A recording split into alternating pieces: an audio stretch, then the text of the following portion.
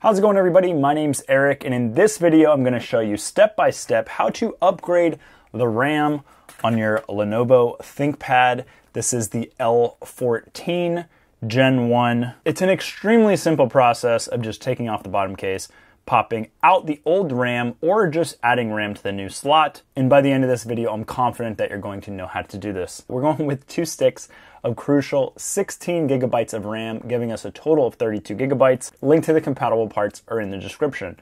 Thank you guys so much for watching. If you haven't already, please give the video a thumbs up. If you aren't already subscribed to the channel, consider subscribing and let's get into the tutorial. First thing you're gonna wanna to do is to make sure your laptop is indeed turned off and then you're going to close the top, turn the computer over. On the side of the laptop here, there is a SIM card tray. And you're gonna need to take a pin or a paper clip, and you're going to press in on that hole. That should eject that SIM card tray. Then you can get it around your fingernail and pull the SIM card tray out like that. Then you're gonna take a small Phillips head electronic screwdriver. A single one or a double zero or triple zero bit from a kit is going to work perfectly fine. And then you're going to remove the nine screws here on the bottom case by turning them counterclockwise.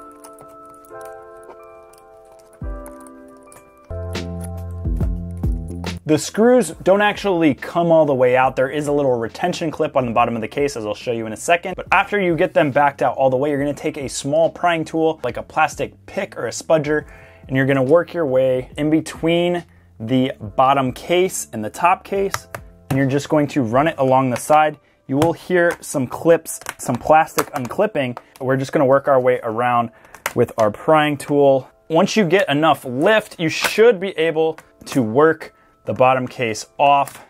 If you feel resistance at any of the screws, make sure that you backed it out all the way before continuing. There is retaining clips on all of the screws, which makes it really nice. You're not gonna lose any screws during this project. Now, the first thing we're gonna do is remove the power from the laptop via the battery connector to make sure we don't accidentally short anything out. There's a little piece of tape handle connected to the battery connector right here. You're going to grab that and pull it in that direction. And that removes all of the power from the laptop, making it safer to work on. Hiding under these two protective flaps are our two RAM channels. In order to remove a RAM stick, you're gonna pull outwards on these two little arms. That's going to release the RAM and you're going to pull it out just like that. The easiest thing to do would be to leave this RAM where it's at, add another 8 gigabytes of 3200 megahertz DDR4 RAM. Link to that compatible RAM will be in the description. However, we're going to be removing this RAM and upgrading it to 32 gigabytes with two 16 gigabyte sticks. You match the notch into the slot on the computer, push it in, at an angle and then press the RAM down. And then you're gonna do that to this side as well. This can take a maximum of 64 gigabytes of DDR4 RAM. So if you really wanna go crazy, you could do 32, 32. It's just gonna be more costly. And plug your battery back in. Now we're going to reinstall the bottom case, line everything up, and then press it down around all of the edges and it will satisfyingly click into place. And then you're going to tighten all nine screws.